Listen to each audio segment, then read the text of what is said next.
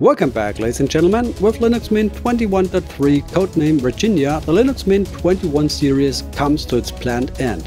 The third point release rounds off the series completely. What exactly Virginia has in store, what's new etc. we will find out now. Stay tuned.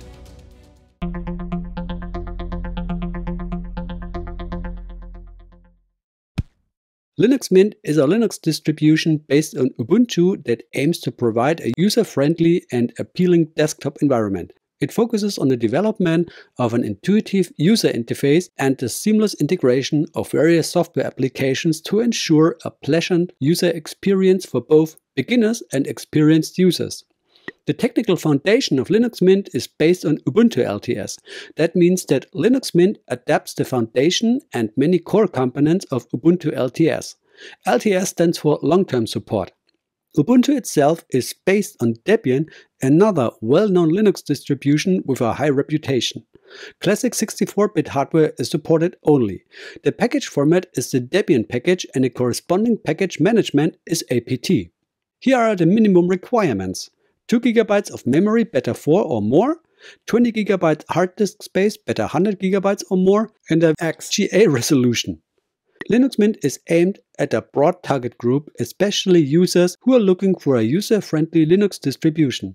But regardless of whether you're a newcomer or a user with high demands on stability or good multimedia support, Linux Mint absolutely focuses on the Linux desktop. What's new? Hypnotix, the TV viewer application, has been enhanced with new functions. Cinnamon Desktop 6, experimental VLAN support, Warpinator can now pair devices with QR code and new background images. If you want to get started with Linux Mint, then you have to open a browser and go to linuxmint.com. Then go to download Scroll a little bit down. Whoops, that was too fast. Scroll a little bit down. At Cinnamon Edition, that is what I recommend you. Click on download. And then scroll down again and choose a mirror server near to your location. And don't get confused, I recorded this video with the beta version of Linux Mint 21.3. At the time of creating this video, it is not yet released. After the ISO file is completely downloaded, I recommend you to build the checksum to prevent yourself from corrupted or manipulated software. You don't know how to do that? Not to worry, I recorded videos for this, the links are in the description. Please check this out if you don't know how to build these checksums. After you build the checksum, you can flash your boot device, either a DVD or a USB stick. In this case, I recommend you to use a tool such as Balena Etcher. Download it, flash the ISO on the device, reboot your system and then boot from the device. Then you will reach the live mode. There you can test the whole system. If you like it, open the installer and follow the screens. Let's come to the system measurement. My system occupied 9.8 GB of the disk. In terms of memory requirements, the system was content with 709 MB. The number of pre-installed packages was 2166 Debian packages. Flatpak containers are not pre-installed. At the time of creating this video, Cinnamon Desktop 6.0.1 was delivered. However, I worked ahead and we still have the beta version here.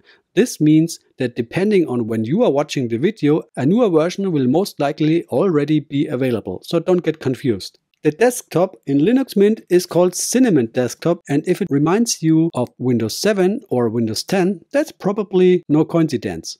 Cinnamon offers a familiar concept with a similar user experience. This is intended to appeal to people switching from Windows, because in many cases they don't need to learn how to use the system. So there is a bar at the bottom similar to the Windows taskbar. On the left side there is the menu. Next to it are quick apps pinned, so that means quick launches. In this case the file browser Nemo, Firefox and a Console. You can move them away and you can also add other apps here. Nearly open apps are arranged behind the quick launchers and on the right side we have system indicators and quick access e.g. network updates, volume, etc. So let's check with here the system report. Whoops, there is an error. Yeah, like I said, it's a beta version, not the final version. It offers to install missing language packages and also to set up the system restore utility, in this case timeshift. But we will skip this for now. There's also a notification for the update manager. Then here's the network tray icon, volume, and a clock. If you open this, here is a calendar, and on the left side, notifications appear if there is an event. In my case, there is nothing now, all is fine. Let's come to the pre-installed software. We have Linux kernel 5.15. As browser, there's Firefox. As email client, there's Thunderbird. As office package, there's LibreOffice. And as software container, there's Flatpak. Newer kernels would be available thanks to the Ubuntu hardware enablement stack. This means that you can currently switch from the outdated 5.15 LTS kernel to a newer kernel, for instance 6.2 or 6.5. And don't get me wrong, outdated 5.15 kernel does not mean it is not supported anymore, but as a long-term kernel it is not the newest available. Anyone who listened carefully earlier will know that Linux Mint has chosen Linux desktop users as its target group. This can also be seen from the pre-installed software.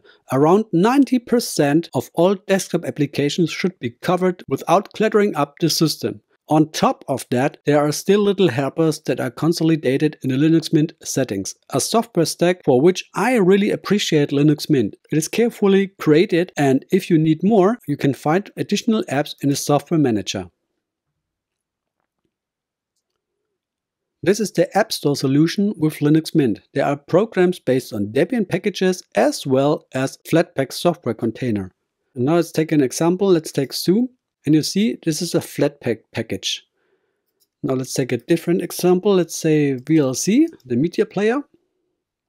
And you see there are many results. I will click the first one and we see again Flatpak and FlatHub as source. But if we click on it, there's also a system package available. This is the Ubuntu package. And you can see the version is 3.0.16 and if we go back to the Flatpak package, it is 3.0.19. So the Flatpak apps are usually more updated than the Ubuntu-based packages. Please don't think that this is a boring version because there are no groundbreaking innovations. There are but they are under the bonnet, because the experimental support for Wayland will keep the developers busy for the next time or years. However, since Red Hat has announced that support for the outdated X11 display technology will be gradually withdrawn, the desktops have now to modernize. This also applies to Linux Mint with Cinnamon, the changes may be limited, but Cinnamon 6 is a well-rounded and solid version. Maybe you could have delivered Cinnamon 5.9 here and then version 6 with the debut of Linux Mint 22. At least that's how I would have done it. Now let's come to my conclusion. In general, the 21 series was a great series. The visually strongest version was 21.2 because the Cinnamon themes were revised and improved. But Virginia is also a solid version that you don't have to skip. The upgrade is worth it just to get a great background images. It may sound flat, but small improvements here and there characterize this version. Linux Mint is not a distro that wants to outdo itself from version to version with innovations and new features. Linux Mint is the distro that wants to reliably support you in your work. That is Linux Mint. This is what characterizes Linux Mint continuity, reliability, and consistency. Because when your work is your priority and you need to concentrate on it, you don't want to have to fiddle with the operating system.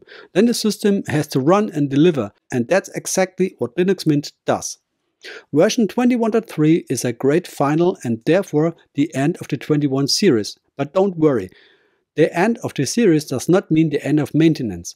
Thanks to the LTS branch, the entire Linux Mint 21 series will receive security updates from the Ubuntu substructure until 2027. The Linux Mint developers may still offer selective corrections for Cinnamon or the X apps, but the further development of the 21 series is thus successfully completed. I would like to take this opportunity to compliment the Linux Mint developers. In my eyes, this series was great. There was focused development without throwing away everything overboard. With Linux Mint, you notice a credo that I personally appreciate. The future needs a past. The existing system is continuously improved and the substance is preserved. I appreciate this. At this point, it's time for your input. As always, your thoughts and opinions on Linux Mint 21.3 are greatly appreciated in the comments. To stay tuned for more videos, all you have to do is to subscribe for free to the channel. And also I recommend you to press the bell. Then you will be notified when new videos are available. And in the meantime, you can also browse through my archive. There are several videos about all kind of distros to discover. Thank you for the kind attention. Thanks for being my guest. I wish you a great time, ladies and gentlemen. See you soon. Peace.